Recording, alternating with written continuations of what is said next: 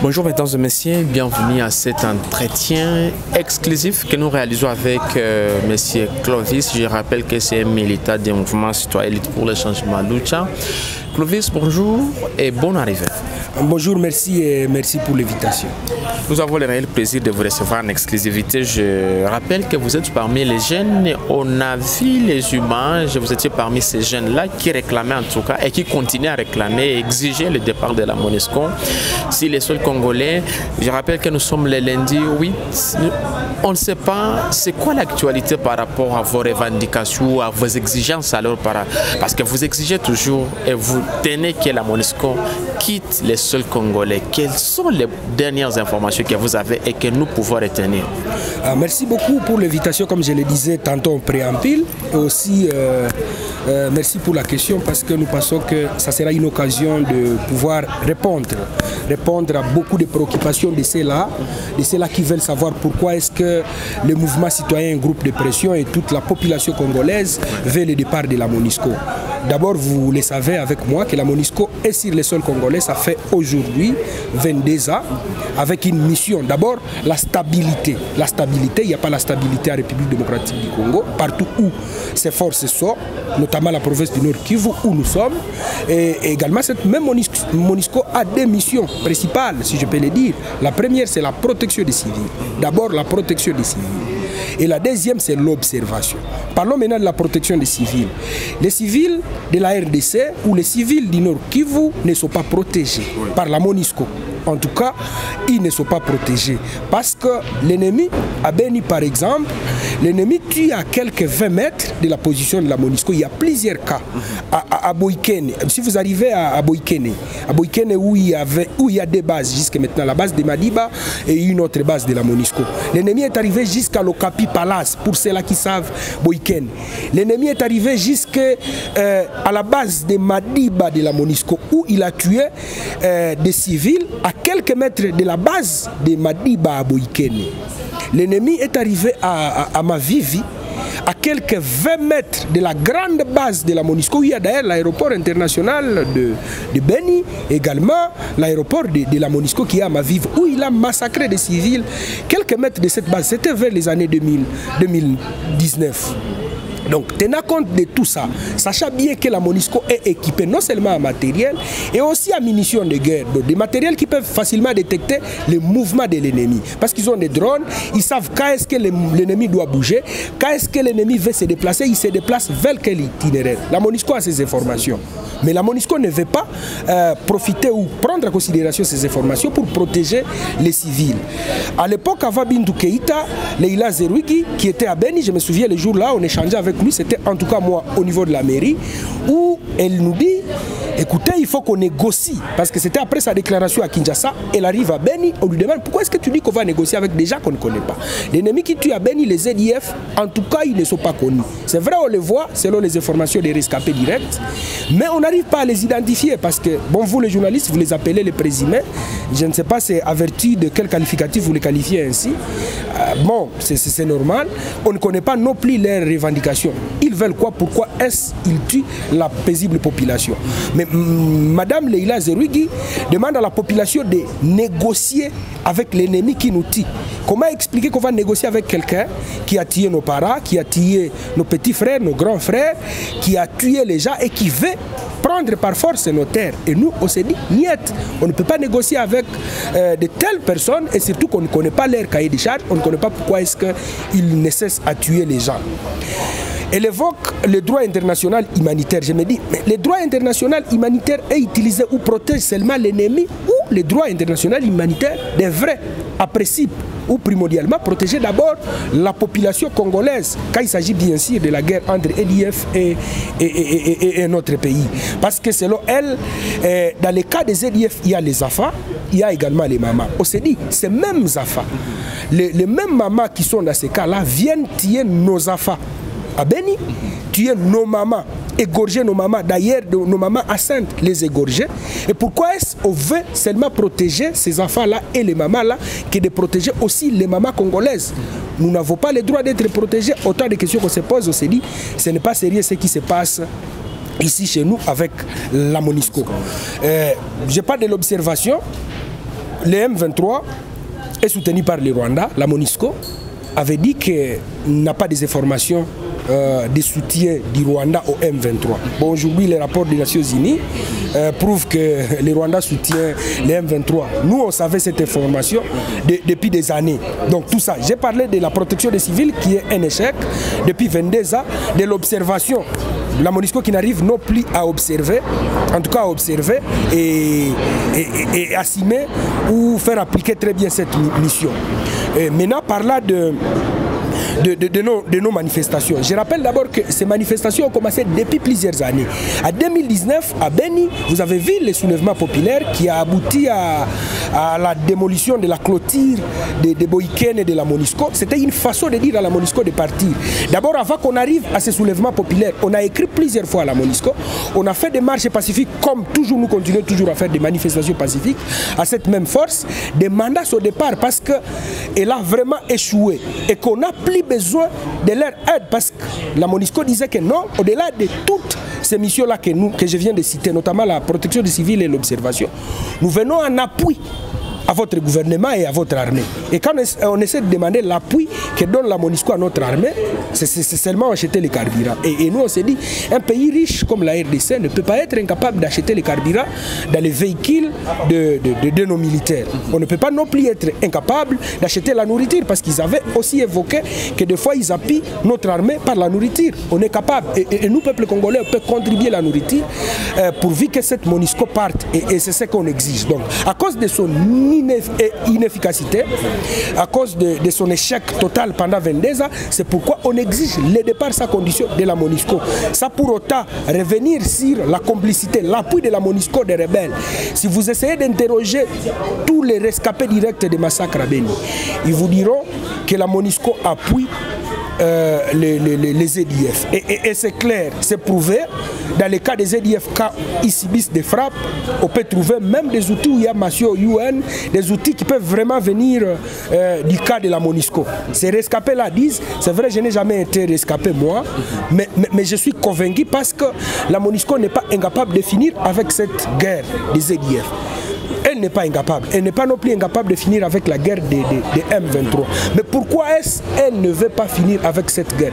Est-ce que ce n'est pas pour alimenter plusieurs groupes armés, alimenter la guerre dans notre province, pour qu'elle profite à, piller nos ressources naturelles, nos minéraux, et le cacao à Beni, parce que le cacao de Beni est apprécié sur le marché international, et autres minéraux qui se retrouvent en République démocratique du Congo, précisément dans la province de Nord Kivu et, et celle de l'Italie. Voilà autant de questions que je me pose, au-delà de, violences faites à nos petites sœurs, à nos grandes sœurs, parce qu'il y a nos sœurs qui ont des affaires métis, des affaires, euh, les, contingents de la MONUSCO viennent faire des affaires. Les agents de effectivement, il y en a plusieurs cas. S'ils en ont besoin, nous pouvons trouver les gens d'exemple.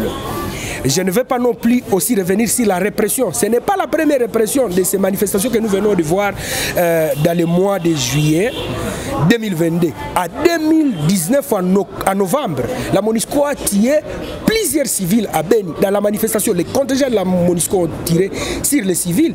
Il y a, un jeune qui s'appelle Thierry, il est enterré au cimetière de Kibango à Beni. Il y a également un militaire qui est enterré euh, au niveau de Massiani et d'autres des civils. Je connais bien leur tombe je me souviens très bien, j'imagine déjà, la, la, scène là me vient en tête quand ces, ces contingents là tiré à bout portant sur les civils à Beni. Ils avaient refusé nier ça, mais, le cas de Cassindi nous a révélé que tout ce qu'on disait depuis des, années, que la Monisco tue également euh, la paisible population ici à Beni, est réelle. Parce que la question de savoir qui tue à Beni, c'est vrai, les EDF tuent à Beni, il y a d'une autre part notre armée, certains militaires, pour ne pas englober tous les militaires dans les mêmes casseroles, certains militaires tirent à Beni et certains policiers, et également les contingents de la MONUSCO. La MONUSCO à Beni et ti à République démocratique du Congo. Et c'est pour mais, mais, mais, la question, certainement, on a suivi des mobilisations, des actions qui ont conduit d'ailleurs à des morts. On a enregistré plusieurs blessés, plusieurs euh, cas de décès à Goma, euh, c'est pas Kassindi, euh, à Butembo également. Est-ce qu'aujourd'hui, euh, peut-on dire que les mouvements citoyens vont continuer à manifester ou bien ils ont atteint leur objectif, bien que je ne sais pas si l'objectif a été atteint? L'objectif n'est pas atteint, bien que le gouvernement congolais nous a masqué par euh, l'expulsion du porte-parole de, de, la MONUSCO. C'est pas ça. une action quand même.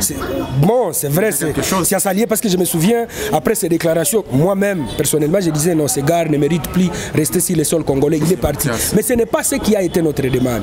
Notre demande, c'est le retrait immédiat des contingents de la MONUSCO, de la MONUSCO. Donc tous doivent partir. Et nous, on n'a pas encore atteint notre objectif. Ça veut dire, les manifestations vont continuer. Malgré des morts, c'est vrai, dans la lutte, il y a il n'y a pas une lutte sans sacrifice, mais certainement, je m'imagine, le parent de ces jeunes-là qui a été tué, s'il me suivait à votre télévision, il dira, mais qu'est-ce que ce petit garçon est en train de dire? Moi, j'ai perdu mon fils, moi, j'ai perdu euh, ma chère, je ne sais pas, quelqu'un qui est tellement proche de moi. En tout cas, je profite également à présenter mes sincères condoléances, mais en fait, en réalité, c'est ça la lutte. Peut-être un message pour ceux-là qui me connaissent et même ma famille. Moi, si euh, j'avale ma carte de naissance ou si on m'assassine dans une lutte pareille, en tout cas, je demande à ma famille de ne plus regretter. Enterrez-moi, mais ceux-là qui resteront vivants, de continuer avec la lutte. Parce que notre lutte que nous faisons, c'est d'ailleurs une lutte pour la souveraineté. Ça fâche, ça fait très mal. Quand cette MONUSCO brandit des éléments en disant que nous, nous sommes en appui, comme si ce pays est incapable d'appuyer les forces cette MONUSCO, avec ses missions, elle a lamentablement échoué. Et elle est également complice de notre malheur. Il y a plusieurs cas, on ne peut pas tout étaler ici à la télé. Mais je vous dis que la MONUSCO appuie les rebelles dans ces pays. Si vous vous souvenez, à l'époque de Mobutu, Mobutu a géré ce pays ici pendant 32 ans. Et, et, et selon ceux-là qui nous ont, euh, nos aînés, ils disent qu'à l'époque, il y avait une paix durable. La MONUSCO n'était pas là. Notre armée zaïroise à l'époque était à mesure de, de sauvegarder l'intégrité territoriale, de, de, veiller sur la sécurité des Zaïrois à l'époque. C'était les mêmes kilomètres de ces pays, les mêmes milliers que nous avons aujourd'hui. Ça veut dire que notre armée FARDC est capable et à mesure. Il suffit juste de réformer cette armée et de faire une armée républicaine forte et déterminée, une armée de patriotes et on sera à mesure de, de sauvegarder l'intégrité territoriale de ces pays. La lutte va continuer jusqu'à obtenir le départ de la MONUSCO. Parce que si elle reste ici, le gouvernement congolais risquera ne pas aussi prendre ses responsabilités. Parce que, messieurs les journalistes, vous le savez avec moi, la sécurité, c'est la toute première mission régalienne de l'État. Ça veut dire, au-delà même de la MONUSCO, être là ou pas, l'État congolais a le devoir et l'obligation de veiller sur la sécurité, non seulement des Congolais, et de sauvegarder l'intégrité territoriale. C'est d'ailleurs ça, si vous voyez le serment du président, il prête serment à disant qu'il va veiller euh, sur euh, l'intégrité territoriale, bien sûr, à disant qu'il est garant de la nation. Être garant de la nation, ça, ça, ça explique trop. Donc nous, nous serons toujours dans la lutte, nous serons toujours là, et les grandes manifestations, ce que nous avons vu, c'est la toute première phase. La deuxième phase. À la prochaine action? La, la, la prochaine, je crois, ce n'est pas euh, longtemps. Si pas cette semaine, mais la semaine prochaine, je crois qu'on va devoir commencer d'autres grandes actions de grande envergure. Et ces actions-là, nous serons là. Si la MONUSCO va continuer à tirer sur nous, ok, on sera là jusqu'à obtenir le départ de la MONUSCO. Mais jusque-là, on continue toujours dans, les actions. Parce que les, actions continuent. On ne peut jamais tolérer voir les véhicules de la MONUSCO sillonner dans la province du Nord Kivu. Parce que nous sommes au Nord Kivu. Si ces véhicules-là sillonnent, la population congolaise a le droit de faire tout ce qu'elle veut. Là, vous appelez haute violence Ce n'est pas, ce pas la violence, monsieur les journalistes. Quand on tue les gens, alors que la MONUSCO est censée protéger les civils à quelques mètres, c'est quoi? C'est ce qu'on appelle violence. On tue les gens et cette MONUSCO ne fait rien. Et nous, on empêche à leurs véhicules de passer. C'est quand même des véhicules. Mais, mais, mais, mais les gens qui sont tués, c'est la vie humaine, elle est sacrée. Je ne sais pas si seulement la République démocratique du Congo, c'est droit et naturel. Je pense que même aux ISA, je pense que même dans les pays d'où vient ce contingent-là, le droit à la vie, c'est un droit naturel. Chacun a un droit de vivre. Et nous, quand on empêche aux véhicules de passer, ce n'est pas en tout cas la violence. C'est certainement ce que les gens disaient que non, à Goma, la lutte a été violente, on a vu les gens aller piller. Non, c'est faux. Les gens, moi je n'ai vu personne. des images circulaient quand même. Mais écoutez, il y, a certains, je vous dis, et ce n'est pas en fait la comédie que nous faisons, il y a certains qui ont constaté l'air bien volé par les 40 voleurs dans les anglos de la Monisco, les bases de la Monisco. Vous trouvez tes biens ce qui était le vote, vous le constatez dans l'anglo de la Monisco. Qu'est-ce qu'il faut faire? La Monisco, c'est un receleur ou c'est lui, les voleurs. Il faut d'abord prendre et le reste viendra après. Comme Tandové l'a fait de cet entretien, M. Clovis, c'est le secrétaire d'État américain qui a annoncé au Congo et d'ailleurs il a commencé sa tournée aujourd'hui, dont il commence en Afrique du Sud, il se rendra après à Kinshasa et après à Kigali. Alors, et, une visite dans un moment où il y a une tension entre Kigali et, Kinshasa, c'est le, le plat diplomatique Qu'est-ce qu'on peut attendre de cette visite? Non, moi en fait, je n'attends rien de cette visite parce que je pense que s'il sera en République démocratique du Congo, c'est l'état pour lui d'emballer avec ses hommes et partir. On n'a plus besoin de cette diplomatie. On a été tué à Beni 8 ans, plus de 8 ans. Aujourd'hui, on est en train de massacrer les gens. Il n'y a aucune aide palpable parce que l'aide, c'est arrêter l'hémorragie des massacres qui se vit dans la région de Beni et, celle de Litour. Il n'y a pas. À quoi est-ce qu'on continuera toujours à attendre, à espérer une diplomatie? Qui ne paye pas. Moi, je pense que ce n'est pas l'état d'embrayer, l'état de la comédie, l'état de distraire le peuple congolais. On n'a pas besoin de lui. S'il arrive à la République démocratique du Congo, qu'il vienne signer le départ des, des contingents de la MONUSCO et continue toujours à exiger le départ à notre gouvernement et demander à notre gouvernement de prendre ses responsabilités. Vous avez, vous, à commencer par le président de la République, M. Chilombo, l'obligation de sauvegarder l'intégrité territoriale, protéger les civils, protéger les citoyens congolais. Et cette protection ne passera pas par les contingents de la MONUSCO, moi encore la MONUSCO. La MONUSCO doit partir tout entière, elle doit partir. Et, et, le secrétaire, s'il vient ici, il doit en tout cas nous faciliter la tâche de, prendre ces hommes et partir parce que sinon on continuera toujours à être là dans leur base, continuera à empêcher leurs véhicules de sillonner, et on continuera toujours à ne pas euh, les vendre, même les biens des Congolais pour, pour leur survie, parce qu'on doit tout faire pour les empêcher à vivre ici et partir chez eux. Euh, S'il faut revenir encore sur cette question de la MONUSCO, certainement vous exigez le départ de cette, cette mission onisienne au Congo.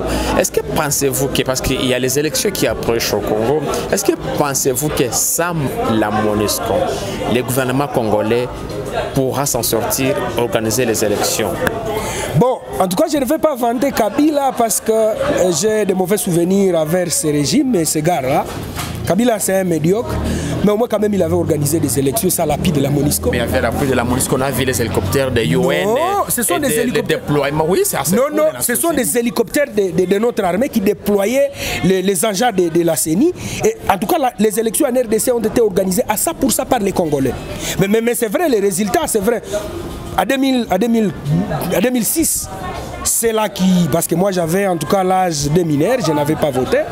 Les gens disent que les résultats qui avaient été proclamés, ce n'est pas les résultats réels. En 2011, même nous avons vu euh, les, faits Étienne Tshisekedi prêter serment dans sa maison parce qu'il contestait les résultats. En 2018, mais là, n'en parlons même pas, le président qui est là, est fruit du vol, lui-même sait. Euh, s'il vous, plaît, À la présence de la MONUSCO. Donc la MONUSCO n'a rien, en tout cas, aidé à ce qui s'agit du processus des élections. D'accord c'est qu'elle n'a pas sa raison d'être. Alors, pour finir, on sait que euh, euh, cette semaine, d'ailleurs, le week-end dernier, a été marqué aussi par euh, des affrontements entre les FARDC et l'M23 dans les retours. On est déjà dans le deuxième deuxième mois que Bunagana, qui est une cité stratégique, est sous contrôle des M23. Quel message que vous avez envie de transmettre, premièrement, à l'armée congolaise et deuxièmement à la population congolaise. Je commence d'abord par un message pour la population congolaise. D'abord, Bunagana est occupé par le M23. Voici ce qui va se passer. Le président de la République, il semblerait qu'il a eu déjà des accords avec, avec, avec les rebelles du M23 tout est déjà sur la table. Ça sur les réseaux sociaux, mais ça J'ai dit qu'il semblerait et que euh, l'armée va sembler lasser des offensives et les M23 vont bel et bien se retirer. non seulement pour essayer de légitimer la MONUSCO, parce que la MONUSCO fera une communication que c'est grâce à elle que les M23 ont quitté Bunagana et que le gouvernement congolais pourra donner des éloges à la MONUSCO pour qu'elle reste. Mais c'est faux, c'est un plat déjà préétabli et ça commence à se, à, à se voir, à se constater après la déclaration de Nations Unies citant nommément le, Rwanda en appui de, du M23. Nous, Congolais, nous le savons depuis longtemps et on l'avait dit depuis longtemps. Le deuxième message que je vais donner à cette même population, c'est continuer toujours à être fort et déterminé. Il n'y a pas des gens qui viendront sauver ce pays, c'est nous. Même pas cette MONUSCO, moi encore des organisations que vous voyez ici à République démocratique du Congo. Soyez toujours déterminés. L'article 63 de notre Constitution est clair et nous demande, nous, de veiller s'il y a une menace étrangère. Le M23, ce n'est pas une, une rébellion de ce pays, c'est une rébellion étrangère et ça, c'est une menace étrangère. Au même titre que les ZIF, nous devons, les Congolais, nous, nous, devons nous mobiliser. Je ne sais pas, un Congolais qui aime ce pays ne peut pas attaquer ce pays, ne peut pas tuer ses frères, il ne peut pas appauvrir ce pays, il ne peut pas sécuriser ce pays. Ils ne sont pas des Congolais. Euh, donc, soyons toujours soudés et, et dire non à l'ennemi, peu importe son identité, les bouter dehors, c'est notre devoir patriotique le premier devoir. À notre armée de continuer toujours à être forte. Vous êtes le seul espoir de ce pays. Vous êtes notre seule et unique armée. Peu importe tout ce qui est là, parce qu'il y en a, c'est vrai, de vrais patriotes militaires et également d'autres militaires qui ne sont pas patriotes, les traites.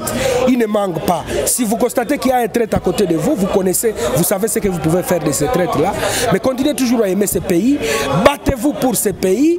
Euh, changez les plans machiavéliques de ces autorités sa conscience, bouter dehors l'ennemi qui occupe Bunagana et ça sera une victoire des Congolais, non seulement pour vous, en tout cas pour tous les Congolais et on continuera toujours à être derrière vous. Vous êtes notre espoir et nous comptons sur vous et quand vous allez finir avec cette guerre, nous nous serons tellement. D'accord, merci beaucoup messieurs euh, Clovis d'avoir euh, accepté notre invitation. Je rappelle que vous étiez militaire de la lucha. Merci beaucoup. C'est la lucha des Africains. Mais, mais, merci beaucoup messieurs les journalistes. Je suis la lucha est et indivisible. Je suis militaire de la lucha RDC. Il euh, n'y a pas lucha à part lucha Il y a lucha L, L, L, je sais pas. Non, vous êtes la, lucha est et indivisible. Les gens doivent apprendre à être sérieux. Nous, nous sommes militaires de la lucha et je suis militaire de la lucha, la lucha que vous connaissez. et C'est ça la vraie lucha. La lucha RDC Afrique, c'est ça? Non, je suis militaire de la lucha RDC. C'est ça la vraie lucha et vous connaissez. Donc on continue toujours à exiger le départ de la MONUSCO Oui. et nous profitons également à demander à tous les collaborateurs de la MONUSCO de cesser à collaborer avec la MONUSCO. Parce que la deuxième phase, elle sera tellement compliquée. Et même les collaborateurs, s'ils sont parmi les Congolais, nous allons les demander, les pousser à ne plus collaborer avec, avec ces, ces- ces contingents de la MONUSCO. D'ailleurs, je profite à vous informer que tous les Congolais qui travaillent euh, dans les organisations onisiennes, qui travaillent avec ces criminels de la MONUSCO, on va devoir lui demander à démissionner et quitter ce poste. C'est vrai, nous n'avons pas les jobs où nous, nous allons les mettre, mais nous allons demander au gouvernement congolais de chercher un endroit pour eux, pour qu'ils continuent à gagner leur vie. Ils doivent arrêter. Et cette phase-là, elle sera très déterminante. Que ça sera possible? Ça sera très possible. Ça sera très possible parce qu'ils sont déjà identifiés. Nous les connaissons. Nous allons les écrire des lettres, les demander à démissionner au nom du patrie. S'ils ont vraiment un amour à, à- à- à cette patrie, ils vont bel et bien démissionner. Je, ne vois pas quelqu'un favoriser l'argent que, que favoriser les pays. Le pays est à une phase très euh, compliquée et nous devons sauver ces pays. Et sauver ces pays, c'est accepter ne pas collaborer avec des criminels. Le malheur de ces pays, pour l'instant, c'est la MONUSCO. Merci, monsieur Clovis, d'avoir été là. C'est à nous de vous dire merci. Merci. Ça va.